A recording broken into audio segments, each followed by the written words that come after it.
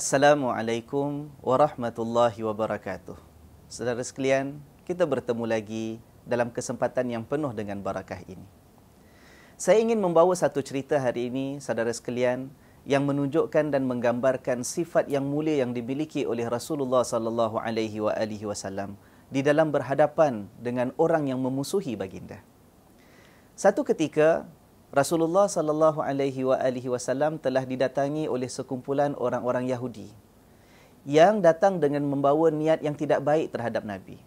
Mereka datang mengucapkan assalamu alaikum. Bukan assalamu alaikum.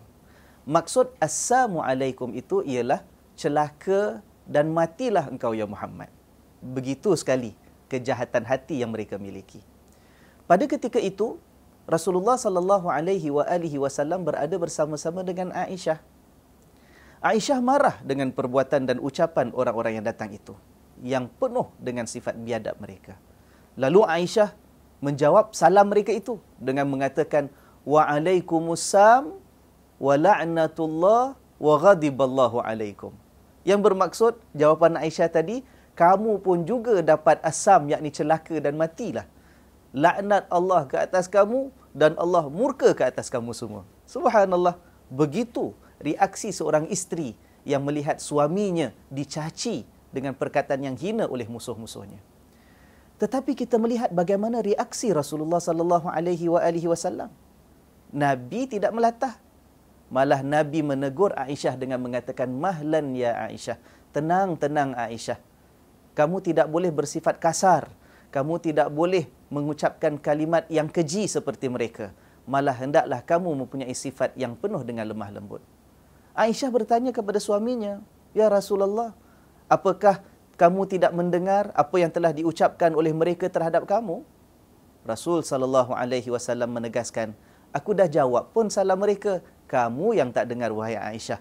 Aku telah menjawab kepada mereka dengan mengatakan wa alaikum dan ke atas kamu juga seperti itu kita melihat saudara sekalian dalam peristiwa ini kelembutan yang ditunjukkan oleh Rasul sallallahu alaihi wasallam dalam keadaan-keadaan nabi dicaci dan dihina oleh orang lain.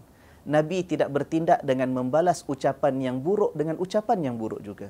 Nabi tidak bertindak dengan membalas kebiadaban dengan kebiadaban. Tetapi Nabi sallallahu alaihi wasallam dikurniakan oleh Allah hati yang dibentuk dengan begitu indah menjadi hati yang penuh dengan kelembutan, dengan sifat pemaaf, hati yang menginginkan kebaikan walaupun terhadap mereka yang menggunakan kekasaran terhadap baginda sallallahu alaihi wasallam. Dan itulah didikan yang telah diberikan oleh Rasulullah sallallahu alaihi wasallam kepada isterinya Aisyah radhiyallahu anha. Dan itulah didikan yang seharusnya kita terapkan dalam kehidupan kita. Kita sinarkan hati kita kita suburkan di dalam dada kita. Sehingga daripada puasa kita daripada ketaatan yang kita lakukan ketakwaan yang kita bina kita mudah-mudahan berharap akan menjadi umat Nabi Muhammad sallallahu alaihi wasallam dengan ciri-ciri yang sama dengan sifat-sifat yang begitu mulia. Amin ya rabbal alamin. Kita bertemu lagi dalam pertemuan akan datang. Wassalamualaikum warahmatullahi wabarakatuh